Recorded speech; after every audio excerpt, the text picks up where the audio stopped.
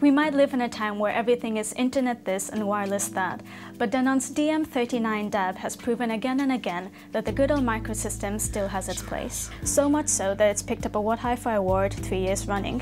It won't keep the crown for much longer, but only because it finally has a successor, the much anticipated Denon DM40 DAB. The new runner still leaves Bluetooth and network features on the shelf, but it's an improved system in more ways than one. For starters, the CD receiver has an enhanced 32-bit 192 kHz DAC and more sensitive DAB and FM tuners. The USB port at the front of the unit now accepts WAV and FLAC files, as well as the commonplace MP3 format. It can also charge Apple devices, even when the Denon's in standby.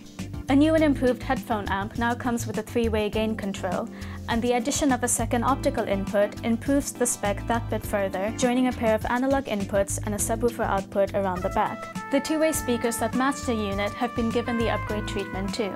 The tweeter has undergone small tweaks, but the more obvious changes are in the mid-bass driver. It has a new dust cap designed to smooth out high frequencies, and further changes have been made for more precise piston movement and less distortion. Changes under the hood have been significant then, and they've paid off. The DM40 keeps the likable character of its predecessor, but is a clearer and more articulate listen. Whether we plug an iPad into the USB input or spin a CD, the presentation is more detailed, organized and spacious, with all three units finely matched. It doesn't struggle finding strict balance between weight and attack, and rhythmically there's greater punch. Cosmetic changes to the system are subtler.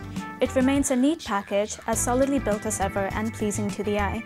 The volume controller is a little bit bigger, making it easier to turn, and the remote control now has a matte finish. It doesn't have to be the all-black affair you see here. The CD receiver also comes in silver.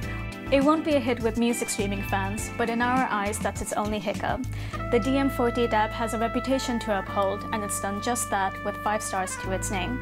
You can get your hands on the Denon DM40 DAB for £350, making it a compelling buy for anyone after a straight-up microsystem. To read the full review, head to whathifi.com. If you like this video, give us a thumbs up and don't forget to hit subscribe. If you want to get in touch, we're on all of the usual social media channels. You can like us on Facebook, follow us on Twitter, or add us on Google+.